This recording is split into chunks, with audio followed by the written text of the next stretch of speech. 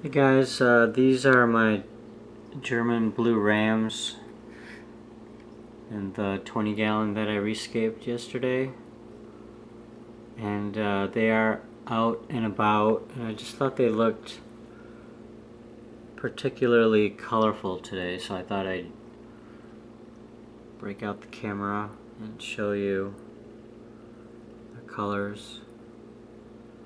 There's the female right there.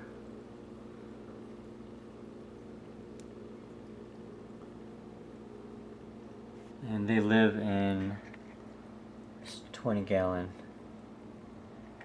And the bubbles are all gone. The driftwood looks really really nice.